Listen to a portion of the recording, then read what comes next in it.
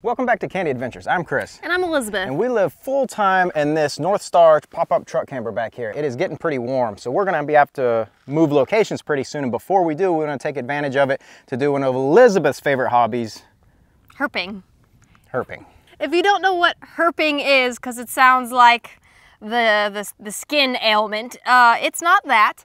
It is short for searching for herpetofauna, which are just amphibians and reptiles, and it's a nerd outdoorsman hobby. But before we get out into the great outdoors and fry our pale white skin in this beautiful sunshine, we want to say thank you to Bob Wells and his crew uh, for for doing a video with us and featuring us because we have seen more subscriber growth in the last two days than we have seen in six years. It's uh, been a crazy last two days seeing the views go up and our subscriber base go up and um, it, it, feels like it was worth it to drive six hours to go interview with Bob Wells and meet him and uh, it, was, it was good. Super awesome, awesome, awesome guy and crew behind the scenes, yeah. not just on camera. Yeah. Um, so we want to say thank you to them and all our new subscribers, but also thank you to you guys who've been around before the algorithm ever knew existed. We just had a video hit 100,000 views and that's so, to us, that is insane. Most of our videos average a couple of thousand or so. And so see 100,000 views in less than a week is we just want to get it out of the way how, how excited we are and how grateful and thankful we are for that. So now commencing the herping sequence. I've been staring out this window of our camper uh, the last couple days as we've been preparing to move and I've been mocked by these giant lizards surrounding us and I think they think that I can't catch them. But we're gonna put that to the test today. I'm not interested in most of the small herps, like this kind of salamander has a slightly different color variant than this one or this, but these uh, desert iguanas out here, actually even, they're big enough to like, it piques my interest. They're, they're pretty cool, and they pique the dog's interest. they're super fast, and they only get active when it's like a 100 degrees or so, which we're hitting, we're getting around that temperature now, so they're like everywhere. Yeah. So we wanna go see if we can put one on camera for you guys today and do a little herping uh, while we're out here. Yeah.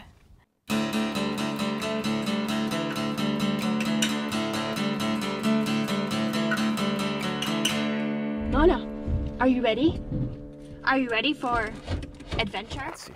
We're gonna ride out through the desert um, back here on our uh, bicycles and head out there and try to find some of these iguanas. But before we do that, we wanna show you what has been our neighbors for the last, I don't know, maybe six or seven months.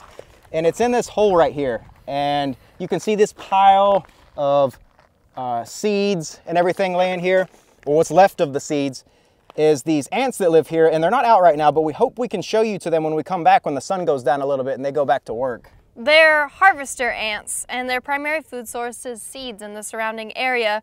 And normally you kind of look over ants, except for the fact that these ants create giant trash piles outside of their nest. They're called midden piles, and they're everywhere.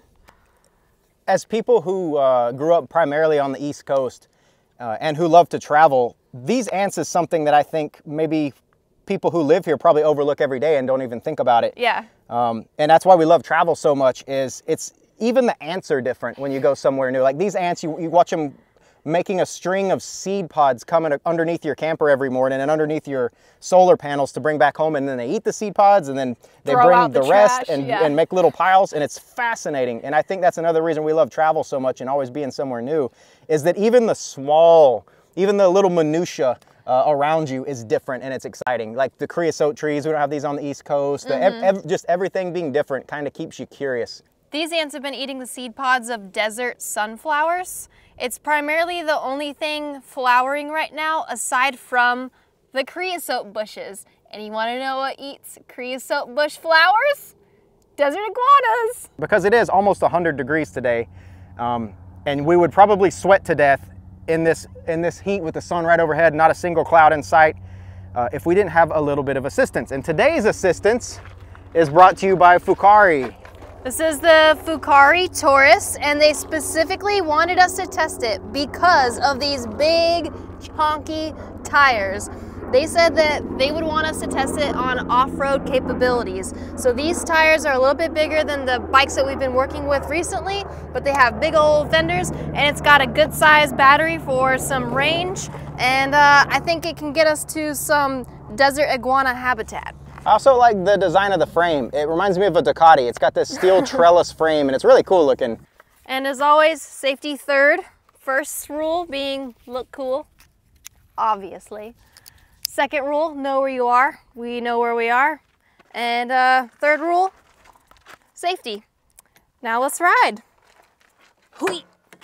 She's already, you're not going. Okay, we forgot one thing. We forgot this one. We forgot Mona. Uh, she's very excited to go look for iguana. She loves to chase anything that moves. What we're gonna do, because it is 100 degrees right now, is put her inside the camper. And we're gonna keep her cool because on top of the camper we have a little AC system. So I'm gonna go fire up the generator. This little teeny tiny champion generator is surprising how well it runs our AC system. So then in here, we'll turn it on. Once it gets that compressor clicked over, it'll just sit there and hum along for about four or five hours. It feels super nice. So we'll put the dog in here. I know that she wants to come with us, but she will overheat so fast. Good girl. Come on, there you go. We'll see you later.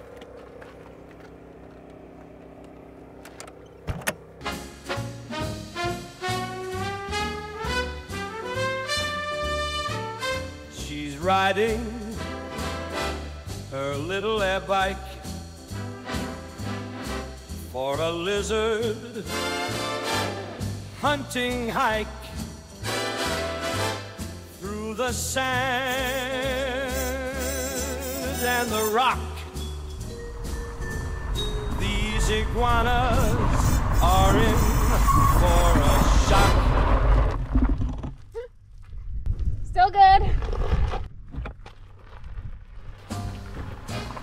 These drone shots are so cool, and that sun above is so hot. We are flowing through the desert. She's about to shoot her shot. Oh, shit, there's one. There's one, there's one, there's one. Okay, you gotta get the camera. All right. I think we have spotted an iguana, so I just need to borrow the camera from up here real quick. And I think an iguana ran up here. This one, one. There's a giant burrow. Wait, wait. Somewhere in here. Ow. Ow. Oh, I can't.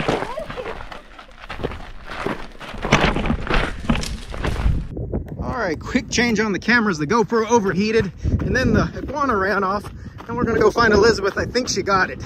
I think I heard her say she got it over here. I did get it. Oh gosh. I had to be super careful because awesome. these guys drop their tails and so you can't grab it by the tail, which makes it kind of difficult to catch. But YouTube, this is a desert iguana. Super pretty, uh, you know, obviously not as big as the green iguanas that you think of in movies, but still a pretty chonky lizard. So they're, you know, this light brown color with this beautiful mottling on the side that kind of turns into dots on their big fat tails. This is about as big as they get, and um, even though they are large lizards, they are mostly herbivorous. So they eat the flowers and the leaves of stuff like these creosote bushes. Rarely do they actually eat insects, which is what people would think of for most lizards. Um, looking at this guy, um, it's hard to sex these lizards to tell if they're male or, or female. They're not really sexually dimorphic, meaning that the male and female uh, differ in appearance. They're pretty similar, but what both do have are these things called femoral pores. So femoral pores are these big glands on their femurs, or kind of in the region of their femurs, and they secrete hormones. Um, this specific lizard secretes hormones for establishing territory. So the weird thing about the femoral pores on desert iguanas is their like secretions are waxy and they can be seen in like the UV index. Um, so they think that these lizards can actually see in UV and recognize physical waxy secretions to establish territory, um, which is kind of gross, but it's kind of cool. Not a lot of animals can see in the UV spectrum. We've done quite a few catch and cooks on this channel. This one's just gonna be a catch. yeah, I don't want to eat them. They've got these long claws, and that's because they actually dig burrows, um, both for just sleeping and also for nesting purposes. So their burrows where they sleep are typically at the base of things like creosote bushes. And then during their mating season, which is only in about a month or so, they make more um, like sandy burrows kind of away from the base of roots. And they lay almost like perfectly round little eggs and only like eight at a time or like eight per year for um, each female. So they're not super big clutches for reptiles, but these lizards are super cool because they're out when all the lizards are not out in this area. They withstand much hotter temperatures than other lizards, which makes it cool to catch them during the day, whereas other lizards you have to go out pretty early in the morning or kind of in the evening because it starts to get really hot. As we've seen, even the ants don't want to be out right now. All right, we're gonna let this little guy go, and I think we're headed to go somewhere to swim uh, where he loves 100 degree heat. We like We to be a little cooler, so I think we've got some water we're gonna ride the bikes over to and uh, take a dip and cool off a little bit because it is a scorcher out here right now. Say goodbye. So cool. Um, and I am very excited. I am super scared of lizards more than rattlesnakes or anything because these some of these bad boys can drop their tails, Most of them. and I find that um, horrific. And so seeing that is so horrific. It's horrific for the lizard, and it's a terrible experience for both of us. So I'm so glad he didn't drop his tail. There, boom. Already gone. They quick.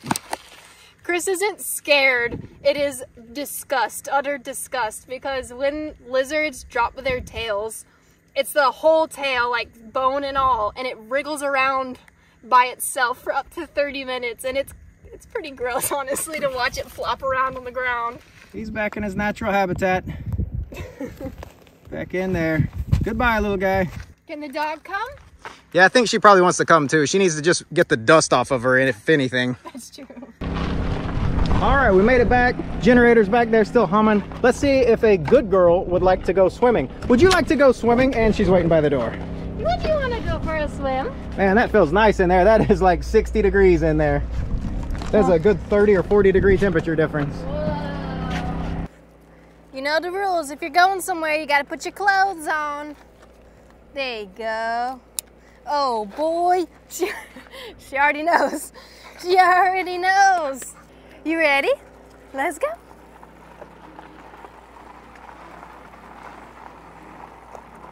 Oh my gosh, the lake is beautiful.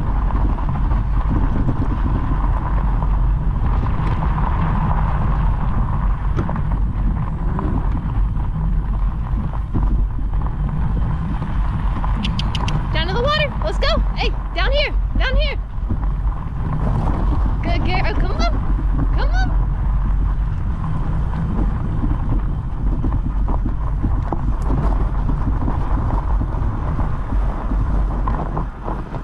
All right.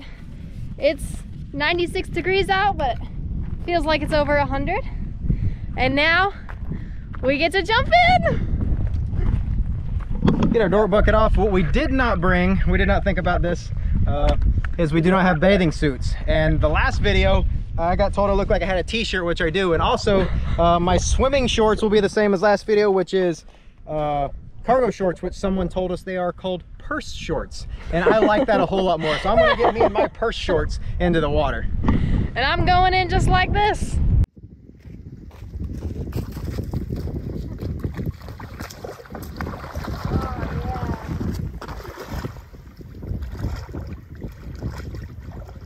Ah.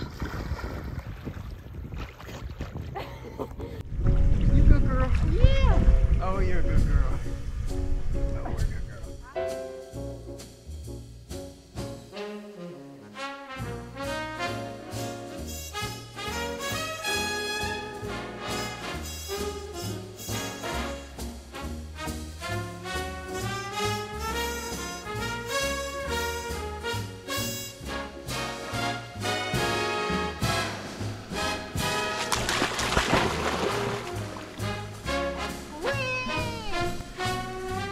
You about done? I don't think so. No. we'll probably be here for another 20, 30 minutes trying to get her tired out and cooled down. And uh, we'll ride the bikes back and see you back at the camper for some good old hot brown chow. We've just arrived back, uh, still kind of wet and dirty. But what's cool when we came back is our friends are out now. And I'm very excited because our friends and uh, possibly an enemy have, have also made it back. So you can see here, um, these are our little buddies. And you can see them carrying their little, their little pieces back. They're throwing away the old seed pieces and making this pile. But what I wanted to show you, as you can see, as these guys are carrying their seeds to and from their nest, they cross our solar panel. And I went to go move this solar panel, and I want to show you why we don't keep our shoes outside um, here in the desert. Is this little bad boy right here? is- Not not so little. no, he's waiting for us under the solar panel. Oh, there he goes. Ugh. Oh, it's so fat. Why is it so fat? I don't know if this one is pregnant. So we said that we were going to do a catch and cook with these scorpions. The problem is that um, we just have the one. Oh, he's gonna go to our friend's house. Be careful. We were going to do a catch and cook. That thing is so juicy. I can't imagine that thing exploding in my mouth. Ugh. I mean, gross. I need for you guys to see the size difference. Gross. Crunchy. Gusher. Almost like a little meal warmer or cricket. Disgusting. Ooh, green. Got green, red. More green. So we're gonna make burger bowls. Uh, we we uh, we've been shopping at this awesome grocery store called Green Trees. If you're ever coming through Yuma, Arizona, it's like where they get expired stuff and discounted items. And we bought, I don't know, 25 pounds of ground beef. So we have a lot of frozen hamburger patties, and we're gonna make burger bowls. So it's kind of like last week, taco rice. This is the same same thing. It is exactly what it sounds like. Instead of rice as the base, we're just going to use lettuce, and it's uh, pretty much just a, a hamburger. So I've got the grill going outside, and we're going to grill the hamburgers out there. They're super fatty hamburgers. They're like 80-20 or something, so they shrink way up, and it's a big fire mess outside. So I prefer doing those super fatty meat outside. You added yellow. Yeah, churched it up with a little yellow. Shoo! I keep adding all these colors because we get we get hounded for making hot brown and not eating healthy enough. And you put enough colors together, and what do you get when you add all the colors together? Brown. Brown. And it, it comes right back around to hot brown again. This is just gonna be brown. We also laugh when we get hounded in the comments for not eating healthy.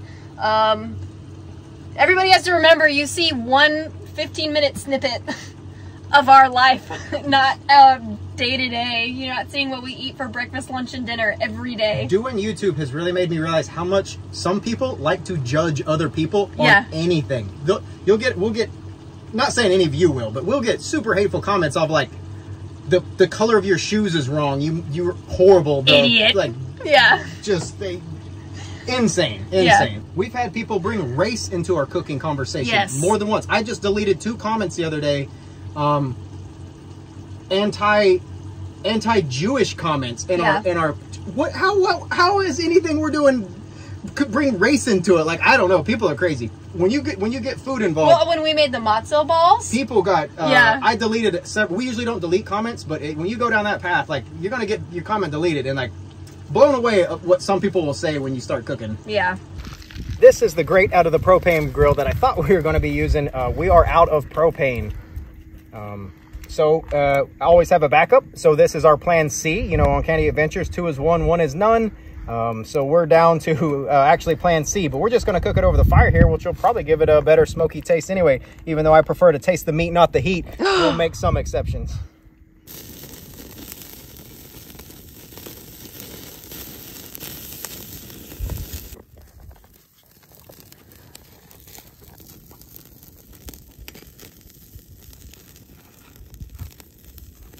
Getting their dinner done, so are we.